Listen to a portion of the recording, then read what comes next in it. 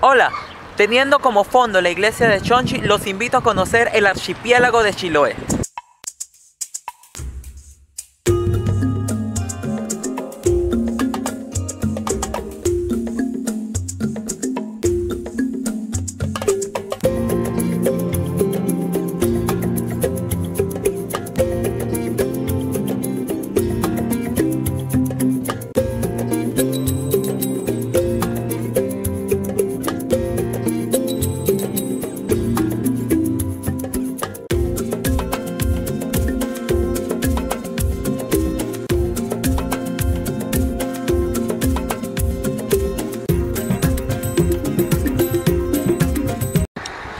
Después de haber pasado toda la mañana en la isla de Lemuy, ya llegué a Chonchi para ver la cuarta iglesia patrimonial de este viaje. La base de este viaje es el pueblo de San Carlos de Chonchi, uno de los más grandes de Chiloé, y es cabeza de un municipio. Chonchi es un pueblo muy pintoresco, con demasiados cables a la vista para mi gusto, pero que conserva las mejores muestras de arquitectura chilota. Si quieres conocer estas construcciones tradicionales de madera, es el lugar ideal para conocerlas. La calle Centenario, su principal vía, está llena de las más espléndidas casas señoriales, hechas completamente de madera y que tienen hasta tres pisos de altura. La iglesia de San Carlos de Borromeo de Chonchi es su más hermosa expresión.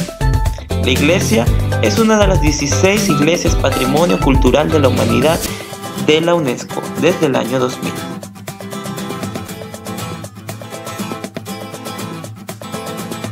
El exterior de la iglesia de San Carlos está pintado con unos colores bastante chillones que no combinan para nada, pero su interior es sencillamente impresionante, con arcos y columnas que le dan un aspecto muy sobrio que recuerda más bien a las grandes iglesias de Italia.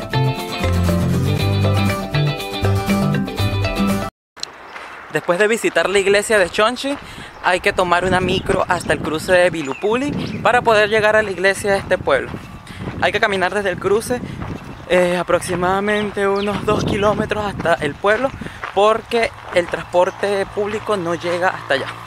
Acompáñenme. Cerca de Chonchi, Vilupuli es un pueblo que también se levanta al frente del mar, pero es muchísimo más pequeño, incluso diría que es apenas un caserío. El pueblo es conocido en el archipiélago, pues cuentan que aquí abundan las brujas y la hechicería. Realmente es tan pequeño que si existieran dos brujas, creo que se podría decir que la mitad del pueblo practica la brujería.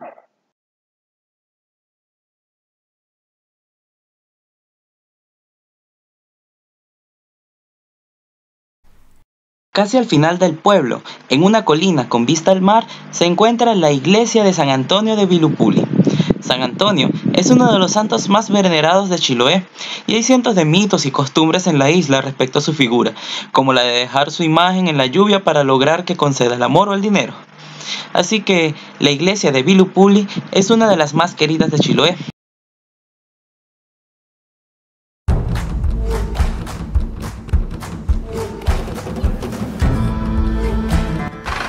Bueno, ahora solamente falta esperar el barco que nos va a llevar hasta la isla Lemuy, donde se encuentran las iglesias de Pukeldon. Son tres iglesias en esta isla que vamos a intentar conocer todas hoy.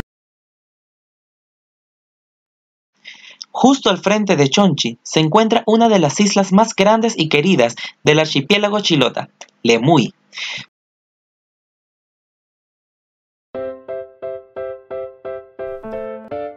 Al inicio de la isla Lemuy, justo después de cruzar el canal en transbordador desde Chonchi, se encuentra un pequeño caserío llamado Ichuac.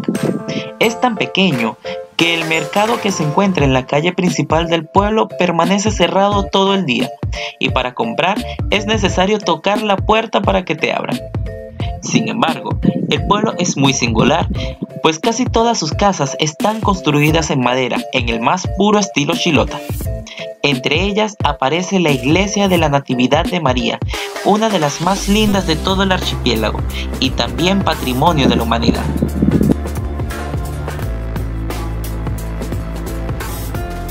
Curiosamente, la iglesia de Ichuac tiene un reloj en su fachada que marca las 13 en punto, la hora de la muerte de Cristo, o algunos también comentan que se trata la hora en la que ocurrió uno de los terremotos más terroríficos de la isla.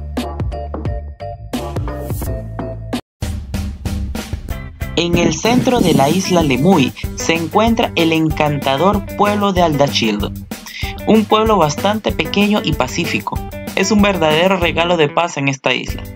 Llegar es complicado, pues no se encuentra en la carretera principal. Hay que desviarse. Y aquí llegué ya al Dachilco, donde está la segunda iglesia patrimonial de la isla de Lemuy que voy a conocer.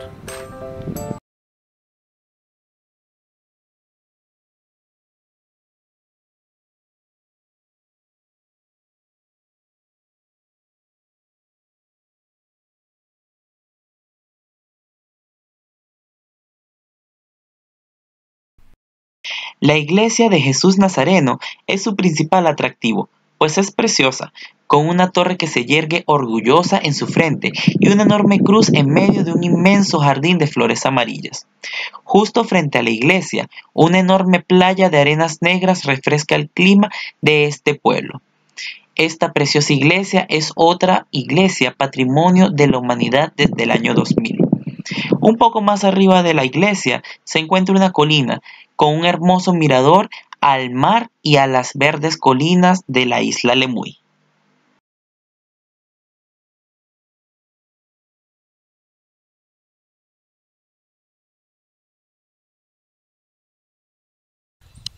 Después de un recorrido lleno de curvas y subidas intensas, hemos llegado a la primera de las iglesias que vamos a visitar en la isla de Lemuy. Se trata de la iglesia de Detif. En realidad es la última dentro de la isla de Lemuy, pero vamos a ir de atrás hacia adelante a conocer desde la última hasta la primera. Vamos a ver esta bellísima iglesia. Justo donde termina esta maravillosa isla se encuentra el pueblo más hermoso de Pukeldón, Detif, un caserío que se desborda sobre el mar. Tiene la iglesia más particularmente linda de todo el archipiélago. Pareciera más bien una capilla, con la diferencia que se encuentra en una cala bien estrecha, a la que se desciende por una carretera muy empinada, con vistas preciosas. La iglesia aparece de repente, justo enfrente al mar más tranquilo de todo Chiloé. En la cima de estas colinas se encuentra el cementerio de Detif, con preciosas vistas al fiordo y también a la iglesia de Detif. Cientos de aves marinas anidan y se alimentan en estas calas, así que prepárense para descubrir nuevas especies.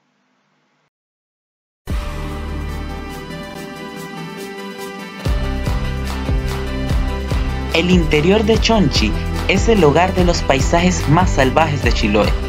Enormes bosques patagónicos resguardan la fauna más carismática y emblemática del archipiélago.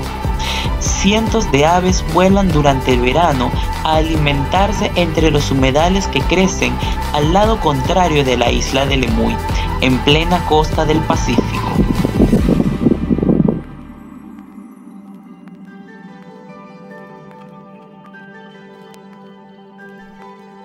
Cucao es la puerta de entrada a este mundo salvaje, donde las personas siguen viviendo y construyendo las típicas casas de madera chilota, aquí con techos a dos aguas, imitando los chalets europeos.